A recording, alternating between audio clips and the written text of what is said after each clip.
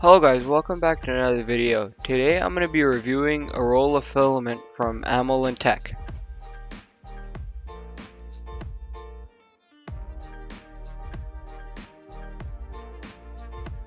At the time of recording, this filament is on sale for $35, which is a little bit steep for a roll of filament. I can normally buy an average roll of PLA filament for $25 off Amazon.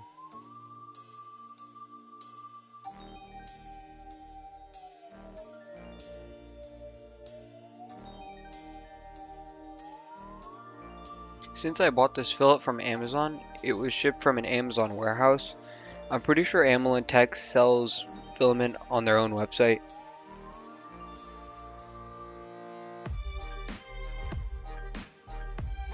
I was surprised to see that they had custom boxes even though they were a smaller company. When I opened the box, the first thing I saw was a thank you note, which is always great. And they also had the filament very professionally packed, so there'd be no tangling.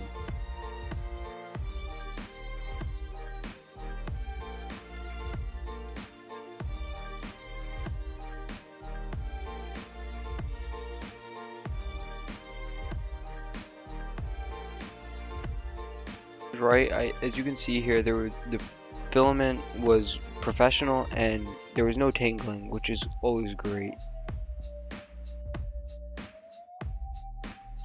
Tangling can completely ruin a good roll of filament.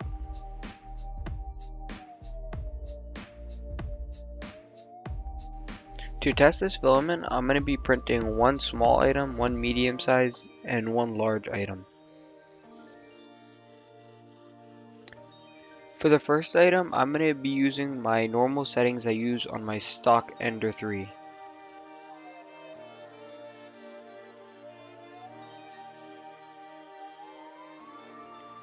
One thing I actually noticed after I printed it was that it was only one color and that was because the filament changes every 10 meters. That's why the second print will be a little larger.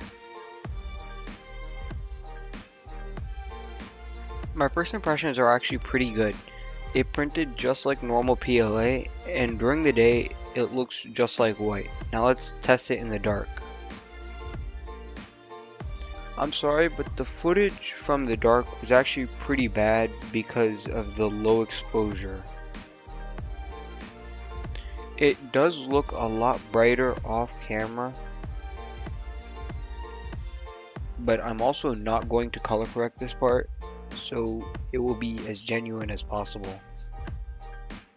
Also, you guys might wonder, might be wondering why I'm using a UV light. It's because on their Amazon page, they actually advertise that a UV light will result in better glow. This is a side-by-side -side comparison with a UV light and no UV light. The UV light just makes it a lot brighter.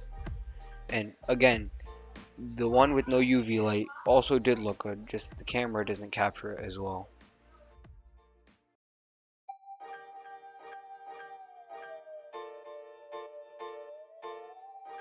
The second thing I'm going to be printing is an enlarge Benchy. I'm enlarging it so I can see all of the colors, all three colors instead of just the green.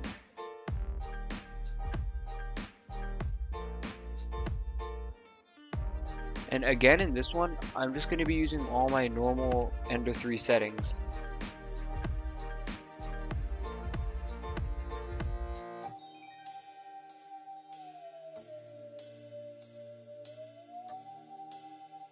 I know I left supports on.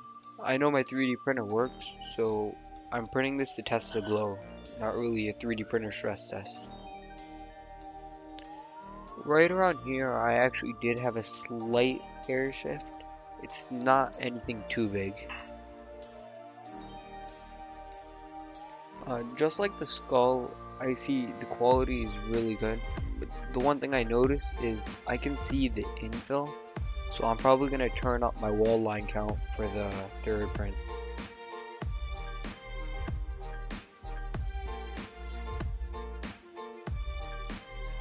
In the dark, just like before, this is going to be completely raw footage and I'm going to be using a UV light.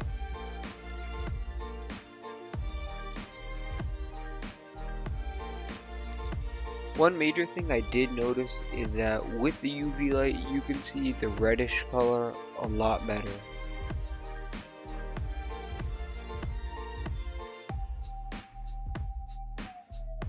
So in the last thing I'm printing, I'm going to be using all my normal Ender 3 settings except for more wall lines.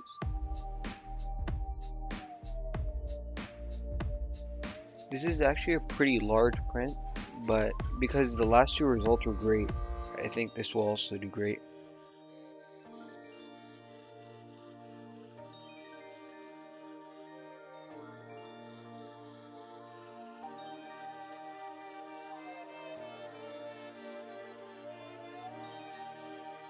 Everything about this print, including not being able to see the infill, was great. Only thing that happened was a slight warp in the back corner. But I think that is just because my bed leveling was off.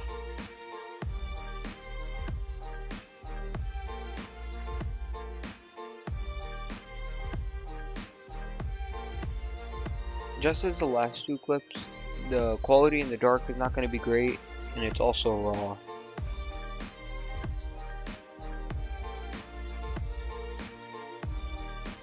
Not surprisingly, the color was the same as the last two.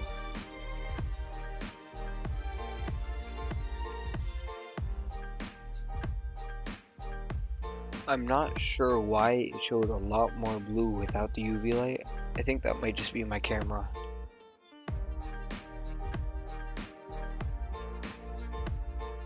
My final thoughts are, this film is actually pretty good.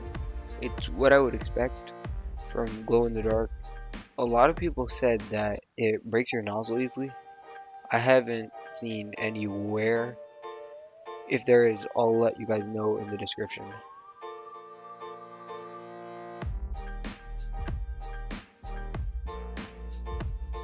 Thank you for watching. I actually started a compilation 3D printing Instagram account, so I'll leave that in the description if you guys want to follow it.